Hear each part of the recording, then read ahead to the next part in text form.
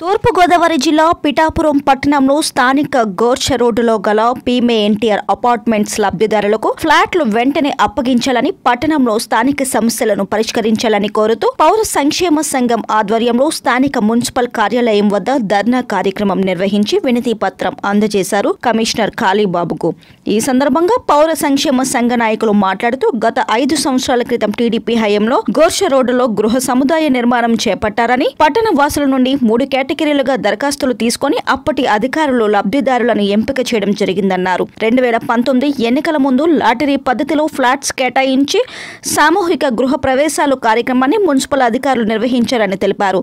మూడు నెలల్లో మౌలిక సదుపాయాలు కల్పించి ఫ్లాట్లు అప్పగిస్తామని చెప్పిన అధికారులు సంవత్సరంన్నర పైబడుతున్న నేటికి లబ్ధిదారులకు అప్పగించకపోవడం వలన అప్పులు చేసి డబ్బులు కట్టిన లబ్ధిదారులు ఇంటి అద్దెలు కట్టలేక తీవ్రంగా నష్టపోతున్నామని ఆవేదన వ్యక్తం చేశారు. పట్టణ పౌర సంక్షేమ సంఘం ఆధ్వర్యంలో నా గత నాలుగు సంవత్సరాల క్రితం ఎన్టీఆర్ పిఎంఏవై అపార్ట్మెంట్లు కట్టి పేదలకు నీటికి అప్పగించలేదు. ఆ సందర్భంగా రాష్ట్ర వ్యాప్తంగా వెంటనే పేదలకు ఇవ్వాలనేసి మున్సిపల్ కార్యాలయం వద్ద ధర్నా చేయడం జరిగింది. ప్రధానంగా పిఠాపురం పట్టణంలో అపార్ట్మెంట్లు కట్టిన నీటికి ఇవ్వకపోవడంతో లబ్ధిదారులు ఆందోళన గురవుతున్నారు.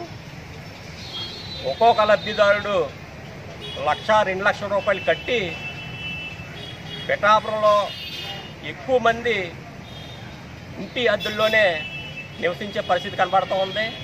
ఒక పక్క అపాయింట్మెంట్ల కోసం వడ్డీకి తెచ్చి వడ్డీ వడ్డీ కడతా ఉన్నారు. అలాగే అద్దెలు ఐదు వేల రూపాయలు అద్దెలు నెల నెల చెల్లించడం జరుగుతుంది. కాబట్టి పేదలు ఇప్పటికే ఈ యొక్క అపార్ట్మెంట్లు అప్పగించబోవడంతో ఇంకా వాళ్ళు అప్పుల్లో కూరుకుపోయే పరిస్థితి కనబడుతుంది కాబట్టి అపార్ట్మెంట్లు వెంటనే ఇవ్వాలనేసి మేము పట్టణ పౌర సంక్షేమ సంఘంగా డిమాండ్ చేస్తాం